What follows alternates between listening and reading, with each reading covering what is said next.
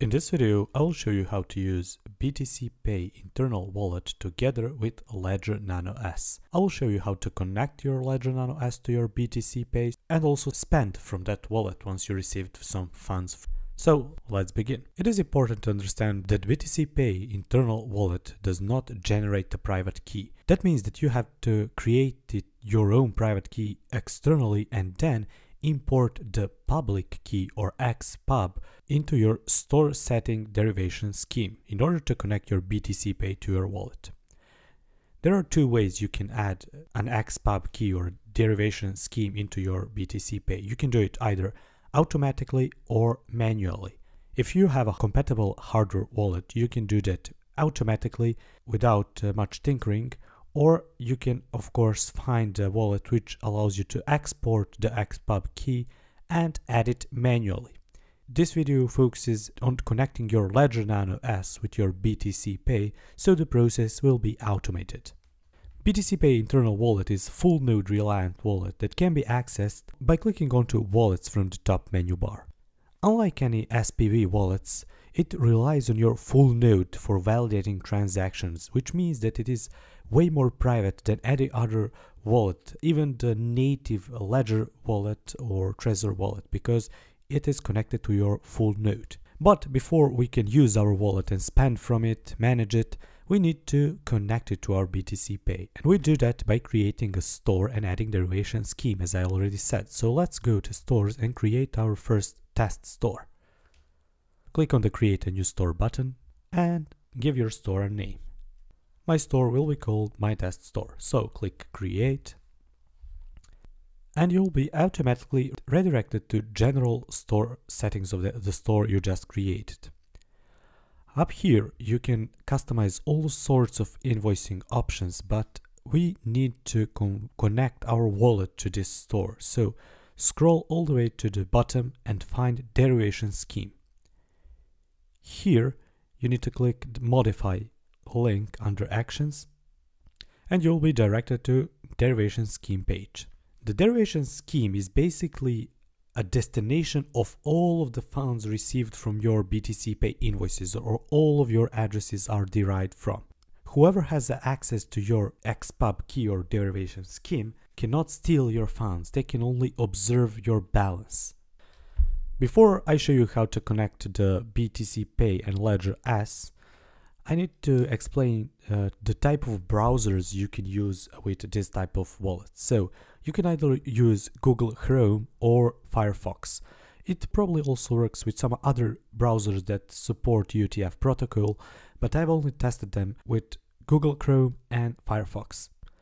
I'm showing you this video on Firefox and in order to use um, U2F on your Firefox, you need to enable it in your about config settings. So open a new tab in your Firefox, type in about config, click I accept the risk and type in U2F. Make sure that these security webauth U2F is toggled true. So if it is false for you, right click and click toggle to make it true. That's it. If you're on Google Chrome, you do not need to do this, it's automatically enabled in Chrome. Head back to your derivation scheme now. Plug in your previously configured uh, Ledger Nano S wallet into your PC. By previously configured, I mean that you created a seed and that you already have a wallet installed in it. Make sure that you have Bitcoin app installed as well. So enter your PIN code to unlock it And very importantly, make sure to open the Bitcoin app. If you're setting up a wallet for any other coin in your Ledger Nano S, which is added to your BTC Pay server, you of course need to select this that coin app, but of course we're setting this up for Bitcoin, so we'll select the Bitcoin app. So just click, double click on the top buttons here. And once you do that, head on, head on to your BTC Pay and click import from hardware device. Select Ledger Wallet and BTC Pay will now check if your ledger is plugged in and if it detects it, it will ask you to select your wallet account. If you've just started using Ledger, you you just created a wallet and you have no idea what these are, in 99% of the cases you need to select this account here. However, if by any chance you use account 1234 on your Ledger Live app, you, you can select any of those. But in most cases, you will need to select account 0. So select that. And now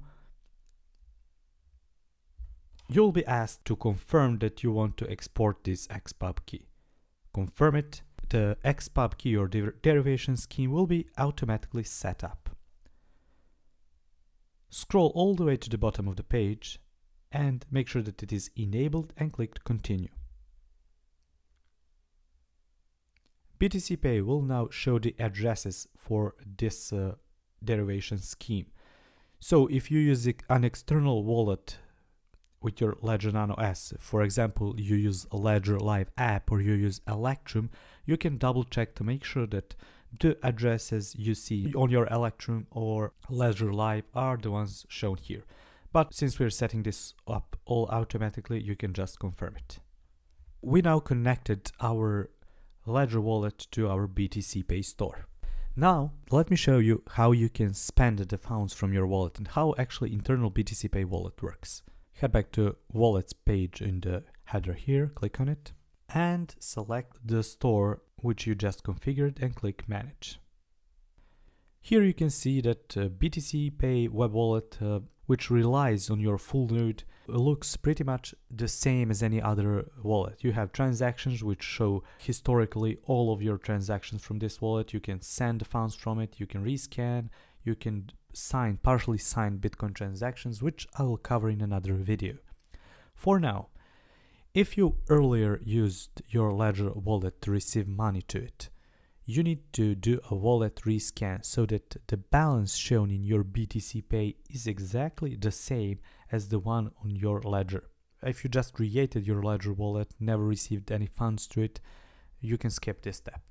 But if you have some money in it, and you want to make sure that those two wallets are in sync, it is highly recommended that you do a wallet rescan. You can do that by clicking Start Scan. To see the progress of the scan, you need to refresh this page. Once that is done, let's now see the, how you can manage your uh, wallet and send from it. So let's say that you received uh, money from your customers or uh, from people who donated to you and now you want to send them to another wallet or just want to pay an invoice with a merchant. So head back to Send tab here, enter the destination address and the amount. If you wish to send your entire balance from this wallet, you can just click on the link here and it will auto-populate here. This wallet also allows you to customize your fees and you can also subtract the fees from the amount. If you're sending your entire balance, make sure that you subtract the fees from the amount. Make sure that your Ledger wallet is of course connected and that you open the Bitcoin app on your Ledger. To send the transaction from your BTC Pay, click Sign and select your Ledger wallet device. You'll see here that you now need to sign the transaction on your Ledger. So take your Ledger wallet and confirm physically that uh, the address and the amount are correct. You will see the transaction overview on your BTC Pay page. Now you can either export this transaction as partially signed Bitcoin transaction or broadcast it to the network. I'll cover PSBT in another video as I already said, so for now just click broadcast it.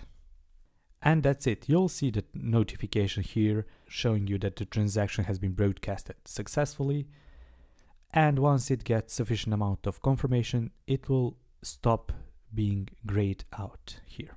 And there you have it. I showed you how you can use your hardware wallet together with your full node for ultimate privacy and security without leaking addresses to third-party servers. It is again important to mention that BTC Pay Wallet does not need your private keys.